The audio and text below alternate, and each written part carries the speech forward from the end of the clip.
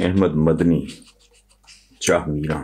وہ کہتے ہیں جی کہ نون لیگی رہنما رانا ثناء اللہ نے ایک پریس بریفنگ میں کہا ہے کہ اگر ترین گروپ ساتھ دے تو ہم تحریک عدم اعتماد لا سکتے ہیں۔ اس میں تو کوئی شک نہیں کہ دو ہزار اٹھارہ کے عام انتخابات میں جہانگیر ترین نے عمران خان کی کامیابی میں اہم ترین کردار ادا کیا۔ اور اتحادیوں کو بھی منایا۔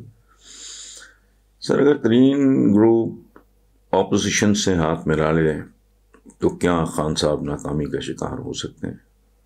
جہانگیر ترین کی ناراضگی پی ٹی آئی کے لیے کتنی خطرناک ثابت ہو سکتی؟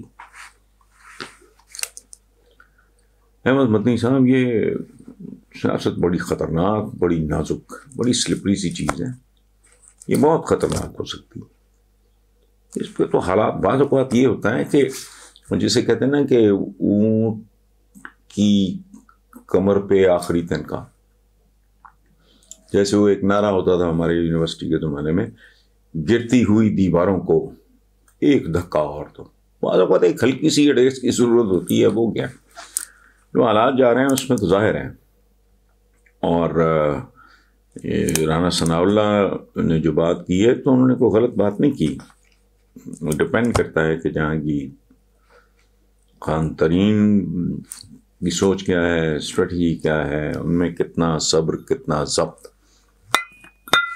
کیونکہ یہ میں بہت حیران ہوں، ویسے پالیٹکس اس چیز کا نام نہیں ہے۔ جہانگیر ترین سے لے کے عبدالعلیم خان تک جیسے چھوڑ گئے یا چھڑوا دیے گئے۔ یہاں میں حضرت امیر معاویہ کا ایک جملہ کوٹ کرتا ہوں۔ جو اسلامی تاریخ کے ان پہ اور کچھ اعتراضات ہوں تو ہوں۔ وہ ایک اسٹیٹسمن ایک مدبر تھے جو کہ خاندانی طور پہ وہ حکمران تھے۔ ابو سفیان کے بیٹے تھے اور ظاہر اور سردار فیملی تھی۔ وہ کہتے ہیں کہ امیر معاویہ کہ میرا اگر کبھی کوئی رشتہ بن گیا کسی پاگل بدو سے ویشی بدو سے، سوری، پاگل ویشی بدو سے، میرا رشتہ بن گیا،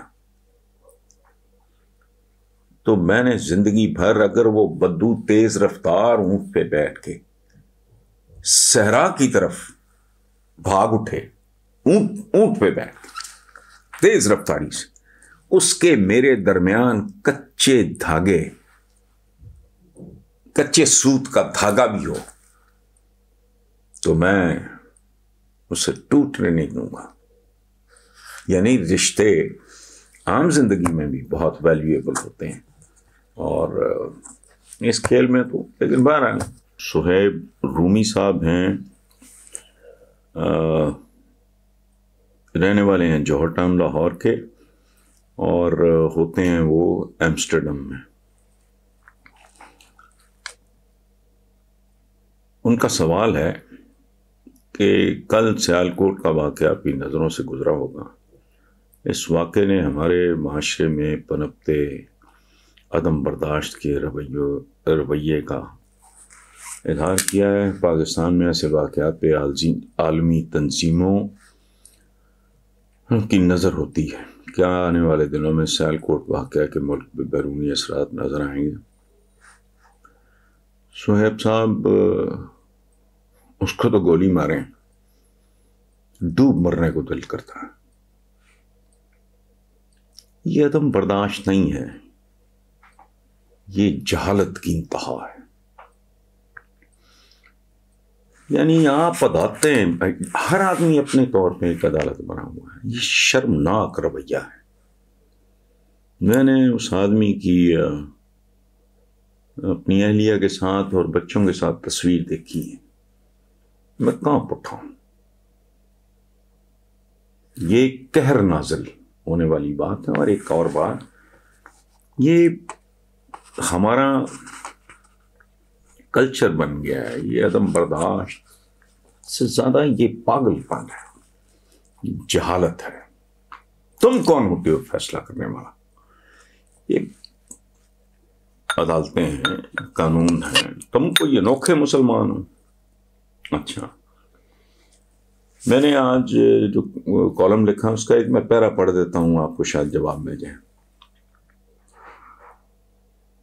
سانحہ سیال کوٹ پہ جو لکھنا چاہتا ہوں، وہ لکھ نہیں سکتا۔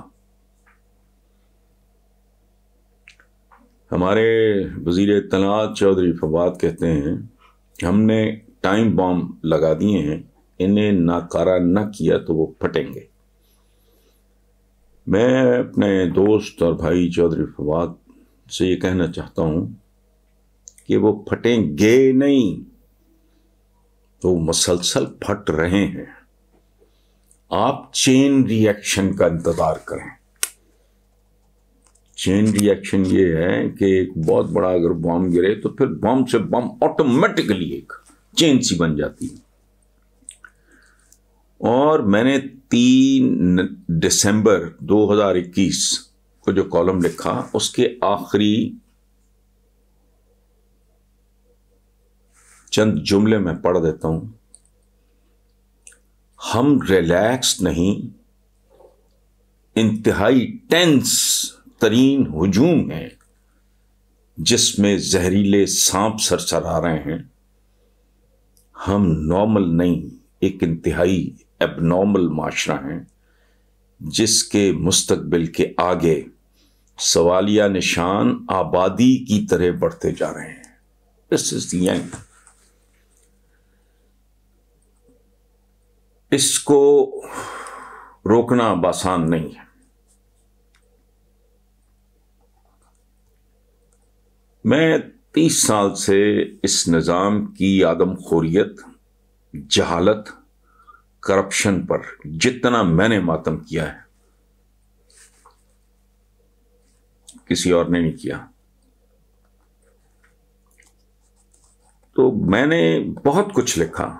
ایک بار میں نے چینلز پہ بھی کہا، لکھا بھی کہ اگر ایک گٹھری ہے بھوسے کی، جسے پنجابی میں توڑی کہہ لیں۔ وہ گٹھڑی بہت بڑی سر پہ اٹھائے جا رہا ہے، اس کا ویٹ نہیں ہوتا وزن بہت ہوتا ہے۔ گٹھڑی کھل جائے اور تیز آندھی آ جائے۔ تو نہ ٹارزن، نہ کوئی افلاطون اسے روک سکتا ہے۔ Pakistan has reach that level میرے دوست ہیں اللہ قاسمی، ان کا آج کا کالم ہے کہ مصطفیٰ کمال عطا ترک کو مت بلاؤ۔ اس نے اس طرح کے لوگوں کو سیدھا کر دیا تھا۔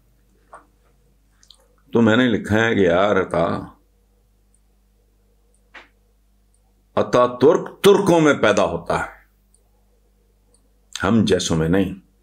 سو ہم جو کہہ رہے ہیں سویب رومی صاحب آپ کو بہت دور تک لے گئے کہ عالمی تنظیمیں عالمی تنظیمیں آپ کے بارے میں بہت کچھ جانتی ہیں۔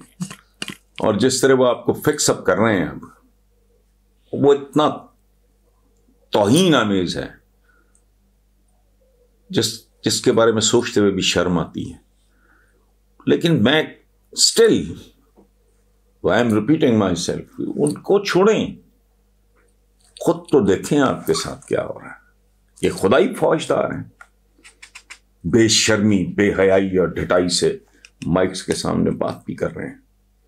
ایک معصوم آدمی اپنے بچوں کے لیے رسک کمانے یہاں آیا۔ اس کو تو نہ آپ کے دین کا پتہ ہے، نہ وہ پتہ نہیں کو پوسٹر بتا رہا تھا کہ اتنا بڑا گناہ ہے۔ یہ تو درندے بھی نہیں کرتے۔ بھوکا بھیڑیا، بھوکے کتے کسی انسان کو پڑ جائیں، اس کو چیر پھاڑ کے کھا کھو کے باقی چھوڑ جائیں کہ آگ نہیں لگائیں گے۔ لیکن سبحان اللہ